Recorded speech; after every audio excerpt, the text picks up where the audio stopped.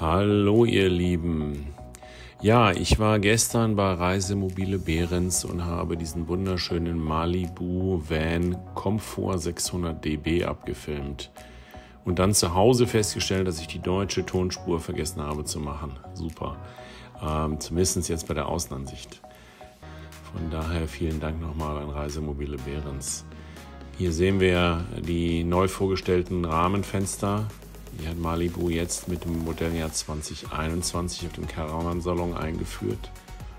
Und letzten Endes haben wir hier einen Metallrahmen, der um das Fenster herum geht und es auch damit ein bisschen vor Einbruch besser schützt. Dann haben wir da hinten die Bullaugenfenster. Die sind ja schon eher bekannt. Und hier unten sehen wir die Toilette, den Toilettenschacht, die Stromeinspeisung und den Kamin der Truma-Heizung. Dann haben wir auf der Rückseite die altbekannt, das altbekannte Heck, inklusive der Parksensoren, die man da unten sieht an der Stoßstange. Und dann haben wir hier noch den Wassereinfüllstutzen. Und das war es. Die Treppe ist da unten schon ausgefahren, weil ich jetzt auch gleich in das Fahrzeug hineingehe. Gut, soweit von der Außenansicht. Jetzt führe ich euch mal mit in das Fahrzeug hinein.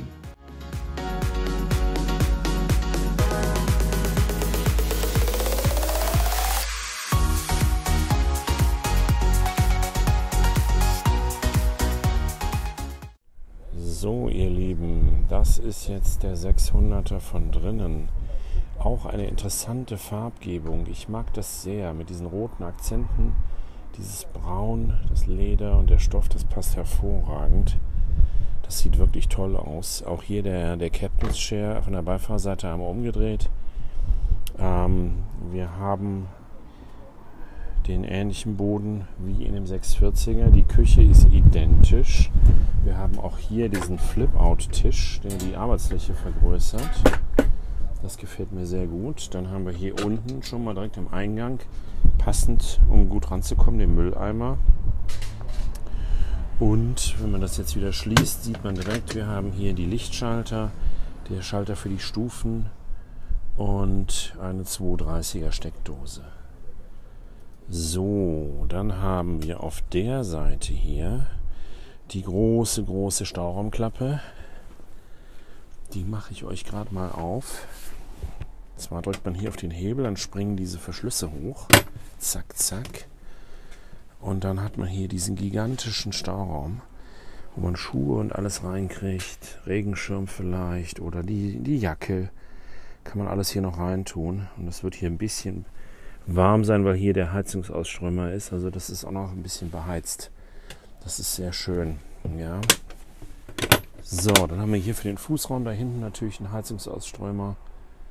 Hier haben wir die Schublade, die große, wo wir auch eine Getränkekiste reinkriegen. Und Soft Close natürlich. Dann haben wir hier verschraubt das kann man hier anheben wahrscheinlich, genau. Da haben wir hier nochmal ein Staufach, wo da hinten dran kommt. Seht ihr das? Da ist auch nochmal ein bisschen Platz. Und das ist clever gemacht hier mit diesem Metallbügel, dass man hier schön anheben kann. Und ich habe natürlich hier nochmal zwei Gurte. Das heißt, auch hier habe ich vier Plätze zum Fahren. Das macht die Sache dann natürlich sehr attraktiv. So, auch wenn das Fahrzeug halt so kurz ist. Ne? So, dann schauen wir mal hier oben. Da haben wir die beiden Lautsprecher, Leselampen. Dann haben wir hier natürlich die Klappen. Das sieht super aus. Ja, so. Hier auch dasselbe. Und hier oben genau, eigentlich wie das jetzt so üblich ist beim Malibu, diese schönen kleinen Schwenkklappen, wo man auch mal was reinkriegt. Ne? Also dadurch, dass hier die, die große Ablage entfällt, da, wegen der großen Kopffreiheit, die ich hier habe, und ich habe hier natürlich nochmal eine Ablage und auf der anderen Seite genau dasselbe nochmal.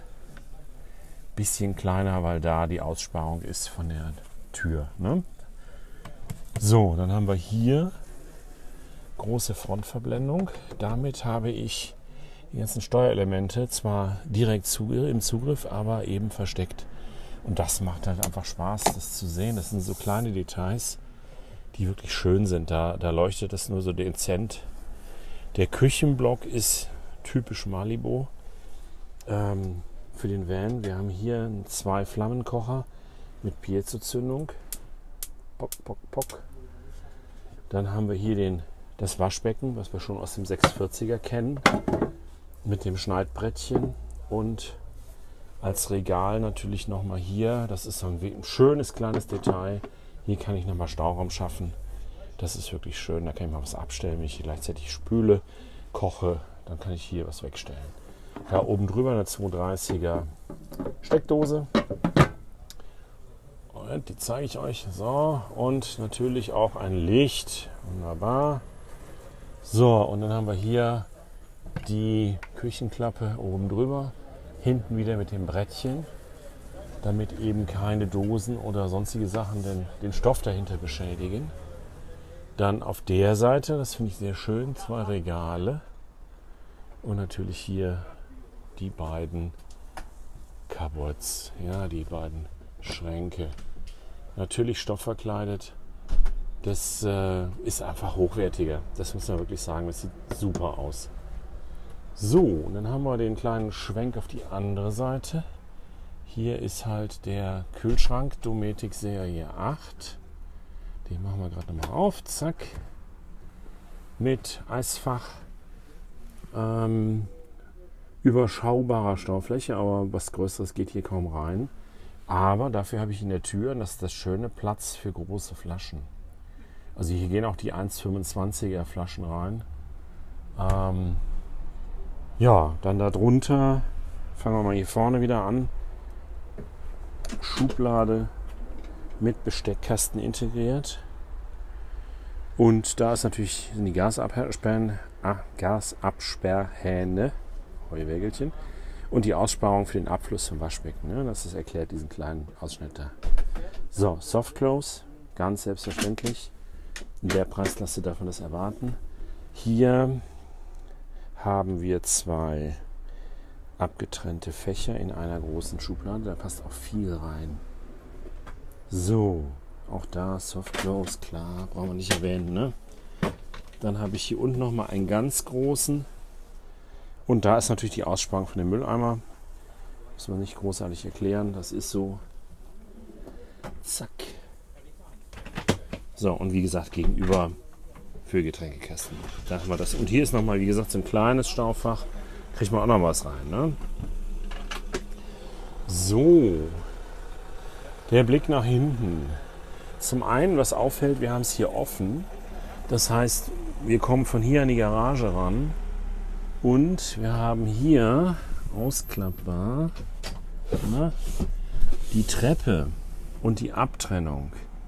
Das heißt, ich kann hier auf der einen Seite zumachen und dann habe ich hier halt, zack, nochmal ein Fach.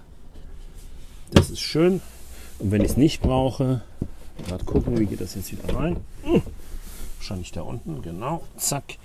Muss man hier, schaut mal, das ist so ein kleiner Hebel. Wenn ich jetzt aufmache, springt der hoch und dann bleibt der auch offen. Das ist auch durchdacht. Runterdrücken, reinschieben, zack, weg ist das Ding. Schön. So, querliegendes Bett. Das ist großzügig. Für zwei Leute reicht das. Ja, da kann man gut liegen. In der Breite wird es knapp an die 1,90 sein.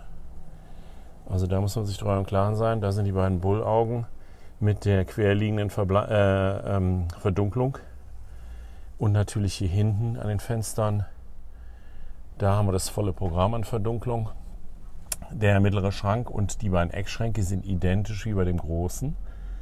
Aber wir haben halt hier eine lange Klappe, wo wir Wäsche reinkriegen. Ja, das sieht schon mal gut aus. Auch da wieder die Stoffverkleidung. Und auf der anderen Seite haben wir im Prinzip eine etwas kürzere. Das ist aber dem, oh, ist das kürzer? Na, nicht wirklich. Ist genauso lang. Das ist aber auch hier natürlich jetzt den fehlenden 40 Zentimetern geschuldet, dass man da einfach ja, kürzere Klappen hat. Ne? Dann sieht man hier hinten, ich habe nochmal ein Leselicht an der Seite mit dem Schalter. Hier ist Licht und auf der Seite habe ich zwei Leselichter mit Schalter. So, und dann sind hier die Ablagen nochmal auf beiden Seiten, wo man auch nochmal was reinkriegt und natürlich die hübschen Eckablagen, die wir ja auch schon im 640er gesehen haben. Das ist alles super. Heki oben 40 x 40 und dann haben wir hier auf der linken Seite unter dem Kühlschrank haben wir den Kleiderschrank mit Licht und natürlich eine schön großen Stauraumecke mit einer Kleiderstange. Da kriege ich ordentlich was rein. Also das ist quasi dieser ganze Block hier. Äh, Kühlschrank, Kleiderschrank, Küche. All das ist identisch mit dem, mit dem großen. Auch das Bad, wenn wir das jetzt mal aufmachen, da ist die Schiebetür, die kennen wir schon. Die schieben wir nach hinten weg. So, und dann haben wir hier unsere Drehtoilette, die wir von Malibu ja schon kennen. Und hier sieht man so ein bisschen mehr diese Plexiglaswände, ja, die dann vor dem Klo hier in diese Magnetlippe dran geklipst werden. Und dann haben wir auf der anderen Seite andersrum. So, hallo, guten Tag. Haben wir natürlich auch noch mal dann hier die Plexiglaswand, die dann vor dem Spiegel und dem Waschbecken hängt. Und dann habe ich hier eine relativ große Duschkabine. Muss man wirklich sagen. Also auch hier wird verbunden quasi an dieser Kante da unten ist dann Plexiglas. Das geht dann einmal um einen herum. Und ich habe dann eine großzügige Duschecke wo ich als großer Mensch auch oben noch an das Fenster mich reinstelle. Also ich bin jetzt 1,87 und ich würde sogar aufrecht drin stehen können mit dem Duschen. Ja, muss man gucken. So, schönes Waschbecken, kleine Ablage für Seifen und Döschen und so weiter.